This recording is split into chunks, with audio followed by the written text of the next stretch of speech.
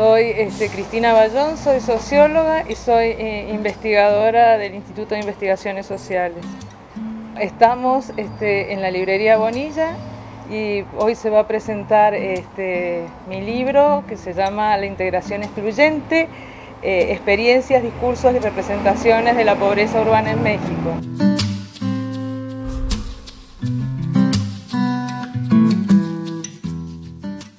Bonilla Artigas es, justamente fue el coeditor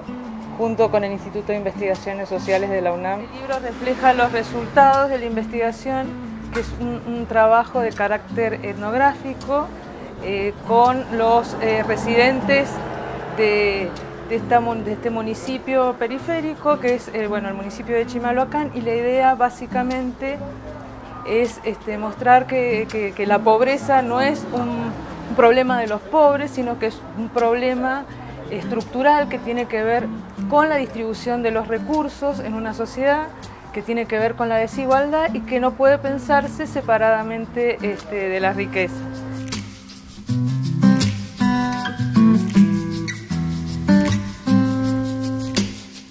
Capítulo donde se ve cómo se la geografía de la pobreza, cómo se distribuye la pobreza en la zona metropolitana de la Ciudad de México y cómo se concentran desventajas en determinadas áreas, básicamente en el oriente,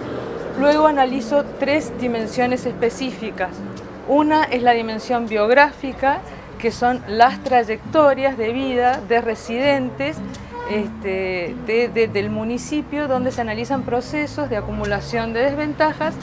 y donde se evidencia que la pobreza efectivamente es un proceso ligado a la desigual, este, el desigual acceso a oportunidades y recursos.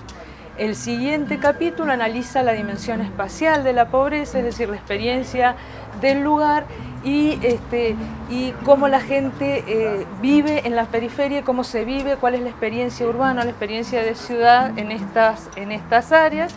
y además todo lo que supone, ahí se empieza a tratar todo lo que suponen los, la estigmatización o los estigmas territoriales, este, la construcción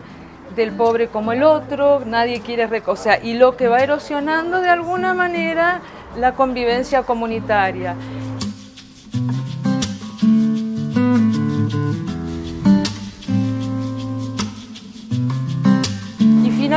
El último capítulo, que es justamente sobre la, dimensión simbólica, que es probablemente la menos estudiada, la menos analizada,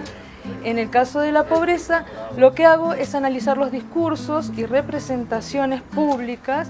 que hay sobre la pobreza, es decir, cómo los medios este, construyen a, los pobres y estigmatizan a sus lugares, de los lugares donde viven y a sus residentes, cómo son tratados por los medios y cómo además los propios residentes del lugar incorporan e internalizan estos, estos estigmas y además cómo de alguna manera este, resisten cotidianamente a esto.